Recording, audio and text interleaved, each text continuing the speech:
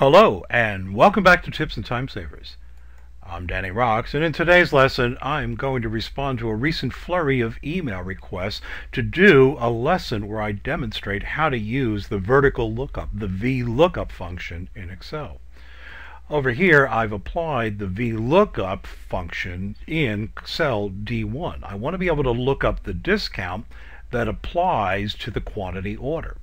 So I'm looking up the quantity ordered and I'm looking it up in an array. This is the array. It's our discount schedule. So I'm looking for the closest match in the leftmost column going down vertically. When it finds the match, then it's going to return the value in a column index. In this case, column index is 2. Our discount is in the second column of our array. All right, now let's put this to practice. Let's write a vertical lookup equals VLOOKUP. And let's use the Control A function arguments dialog box. The value that we're going to be looking up is the quantity. We're going to be looking it up in an array. So let's highlight the array.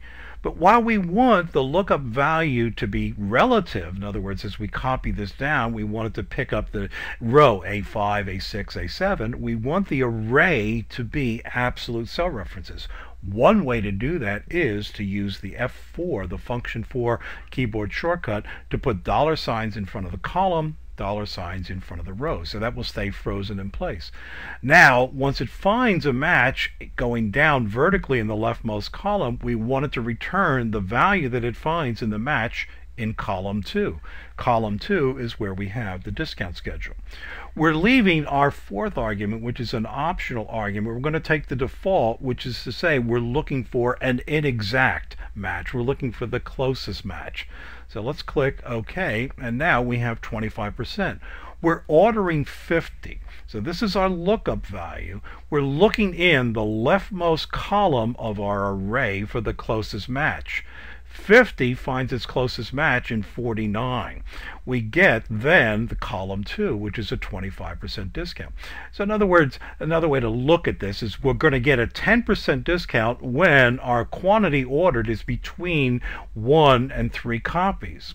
We'll get a 15% discount when the quantity that we order is between 4 and 24 copies. So if we arrange our leftmost column in vertical ascending order, then then we're looking for the closest match and then return the column index.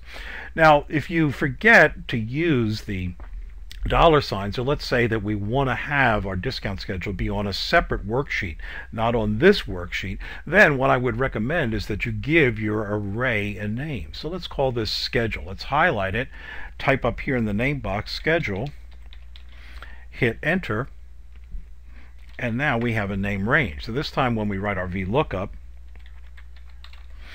the lookup value is over here, comma, the arrange is our name. So schedule, and I like this in Excel 2007, it actually picks up the name ranges. We're looking in column 2.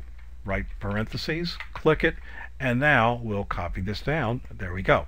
So that was our inexact match. Now what if we want an exact match? We want an exact match for an item number.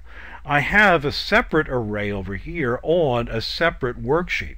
So let's first begin by naming the array. So before we apply the name selected, notice that I'm selecting the values, not the labels. So let's call this master. And now notice that we're going to be looking up the description, which is in column 2. So let's come over here and use our VLOOKUP. And we're going to be looking up this value, which is our item number. The array is in that names range, master.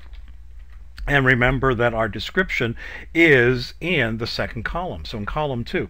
This time let's use the fourth argument. So the fourth argument we'll type in false when we want an exact match. So we'll type in false, right parentheses, and there you go.